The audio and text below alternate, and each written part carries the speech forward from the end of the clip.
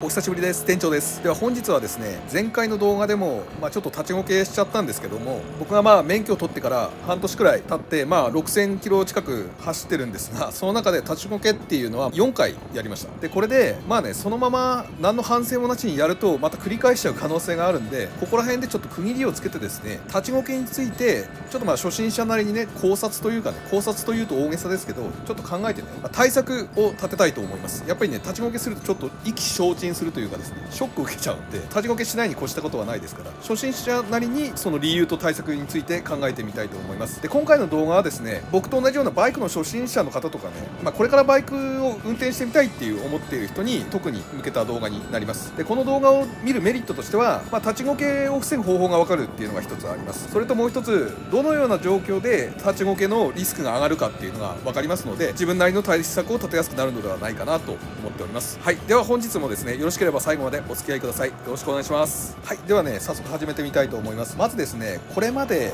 僕がやった4回の立ちこけの分析っていうのをまずねやってみたいと思います。それで4回のうち1回は冬に雪道を低速で走っている時に雪が崩れてしまってまあ、それで転んだっていうケースになりますんでこれはちょっとね特殊なケースになりますんで、まあ、そもそもそういう雪道を走るなって話だと思いますんでこれはちょっと除外します。そして残りの3回なんですけどこれはですね全て右側にこけています。そして1回はその3回のうちの1回は家から道路に出るときに、ま、こけました。残りの2回は上り坂で U ターンしようとしたときに立ちこけしました。それでですねまずこれらを見てみてまずですね3回中全てが右側にこけてるっていうのが1つポイントになるかと思います。そしてさらに3回中2回が上り坂での U ターン時に起きているっていうのも特徴的だと思います。でこれらの特徴を踏まえてなぜ立ちこけが起きたのかっていうことについて次に考えてみたいと思います。ははい。ではなぜ立ちこけが起きたのかについて考えてみたいと思います。そもそも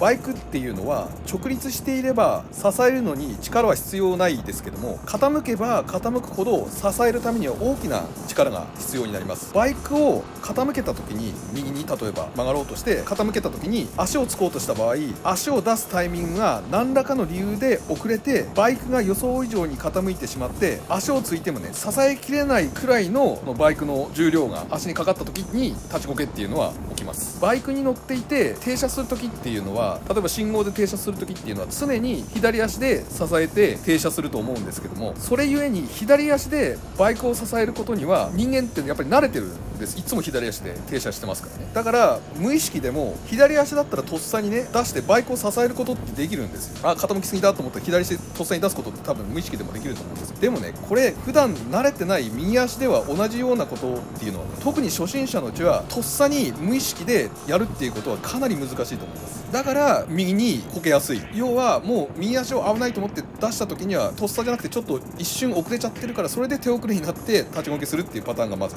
あると思います。それでこれを防ぐためには低速で曲がる時に常に危ない時には右足を出すって意識しておくことが大事になります。無意識でとっさに右足は出せないかもしれません。特に初心者のうちは難しいと思うんですけどちゃんとね自分で構えてね意識してればアクシデントが起きた時にすぐに右足を出して対応できるので基本的に右足はとっさには人間は出せないっていうのを覚えておいて右に曲がる時には常に何かあったら右足を出そうっていう風に意識しておけばこれは防げると思いますはい、じゃあこれでですね最初に僕が自分の家から道路に出る時に立ちこけしたっていうのはそれも右に曲がろうとして立ちこけしたんですけどそれは右足が、ま、出しにくいから無意識でとっさに反応できないからっていう理由でこけたっていう風なことが言えると思います。そして意識しておく右に曲がる時には右足出すっていうことを意識しておけばこれは防げるっていうお話をさっきしましたじゃあ次に上り坂で U ターンした時に立ちこけが多い理由について考えてみたいと思います。でまずですね日本の道路ちょっとイメージしてほしいんですけど日本の道路っていうのは左側通行ですので道路で U ターンする場合っていうのは必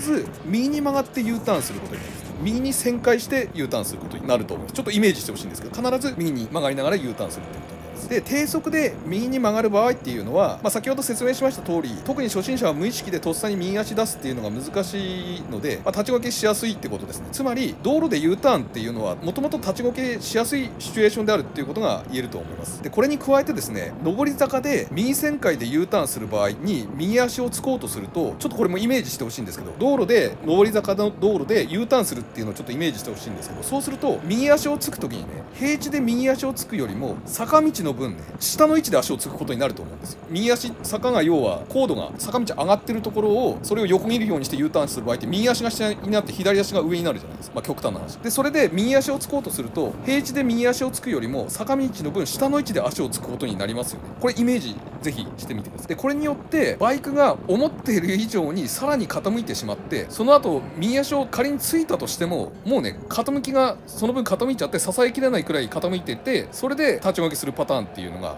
多いと思います。ちょっとね今これ映像実際の僕の立ちこけシーン見せますんでこれがまさにそうなんですけど右足で要は低速で右足つきながら U ターンしようとしたんですけど右足ついた時にはもう傾きがかなりいっちゃってても足で支えられない状態になってるんですよ。でそれでそのまま立ちこけしたっていうパターンがこれに当たります。はい。じゃあですね一回ちょっとまとめますね。まずそもそも右に曲がる時っていうのは右足を無意識で出すのが特に初心者には難しい慣れてないから。だから右に曲がる時っていうのは立ちこけするリスクがちょっと上がりますよっていう話です。そしてさらに坂道上り坂での U ターンっていうのはもともと右旋回日本は左側通行なんで U ターンする時は必ず右旋回になりますからもともと立ちこけしやすいシチュエーションであるプラスアルファで上り坂で U ターンする時に右足をつこうとした場合坂道のその傾斜の分右足が通常の平地で右足をつくよりも低い位置で地上にその設置することになるんでその分傾きが増して支えきれなくなって立ちこけが発生するってこのパターンが非常常に多いっていう。お話です。じゃあ今これで原因がある程度つかめましたんで原因が分かれば対策って打てますんでではこれから立ちこけの対策についてお話しさせていただきます。はい。ではですね対策についてお話しします。まず対策の1つ目は実はもうすでに言ってしまいましたけど特に初心者ですね僕を含めて。初心者のうちは右足をつくっていうのは無意識でとっさに反応するのはちょっと難しいんですよ。慣れてないから。左足だったらできるかもしれないですけど右足はちょっと難しいんで右旋回で曲がるとき右に曲がるときっていうのは特に低速で。何かあった時はすぐに右足をつけるように意識しておくっていうことです。無意識だととっさに反応することってできないかもしれなくても意識してれば、まあ、とっさに反応できるんですよ。だからまず低速で右に曲がる時は右足を何かあったらすぐつくっていうことを意識しておくっていうことですね。これをすればかなりリスクを減らせると思います。低速で右にカーブする時の立ちこけっていうのはかなり減らせると思います。で次なんですけど道路で U ターンする時は上り坂で U ターンせずに、まあ、そもそも論になりますけど平地まで進んでから U ターンするっていうです。でさっきのお見せした動画っていうのもあれ道路で、まあ、上り坂で U ターンしようとして立ちこけしてますけどあれ別に道路そのまま進んでいけば平地ありますんでだから平地まで進んでからちゃんと安全を確認して U ターンすればああいうことにはおそらくならなかったっていうことです。リスクはかなり減らされたはずです。あの上り坂でやってしまったから、まあ、立ちこけしてしまったっていうことなんでそもそも道路で U ターンするときは上り坂では U ターンしないっていうことです。じゃあ下り坂ならいいのかっていう話になるんですけどまあ基本的に僕の意見としては下り坂もやめといた方がいいんじゃないでしょうか。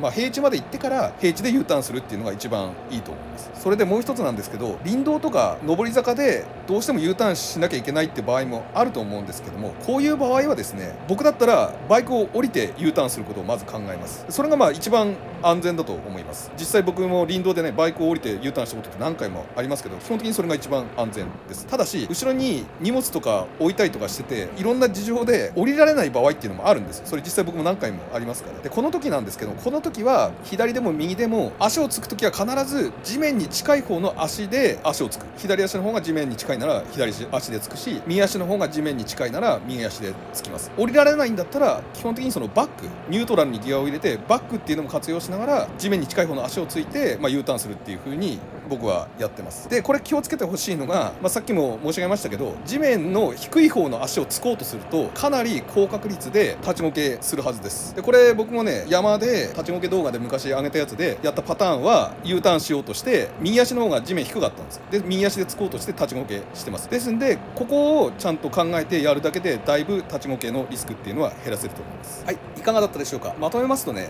まず右側に低速で曲がるときとか右に旋回するときっていうのは基本的に右足を出すっていうのが不慣れなうちはとっさにできないんで、まあ、立ちこけしやすいっていうことそれを防ぐためにはまず右足常に素早く出せるように低速で右に曲がるときは意識しておくっていうことがまず大事です。で次にそもそも道路で U ターンするときは上り坂を含めたまあ坂では U ターンせずに平地まで進んでから安全を確認して U ターンする、まあ、それだけでかなり立ちこけは防げると思います。でプラスアルファで、まあ、林道とかでやむを得ず U ターンしなきゃいけないときはできるだけバイクを降りる。そして安全を確認して U ターンする。でそれが無理な場合はバイクに乗ったまま U ターンしますけどバック後ろに進むバックを活用しながら必ず地面にに近い方の足をつきながら U ターンする。地面から遠い方の足で設置してしまうとかなりの高確率で立ちこけしてしまいますんで必ず地面と近い方の足で足をその支えに使いながら U ターンすれば、まあ、安全に U ターンできると思います、まあ、U ターンっていうかまあ進路変更ですね。はい。ではですね本日も最後までありがとうございました。今ね申し上げたことっていうのは僕自身もねちゃんと考えてね今後に生かしていきたいと思います。ではですね本日も最後までありがとうございました。失礼します。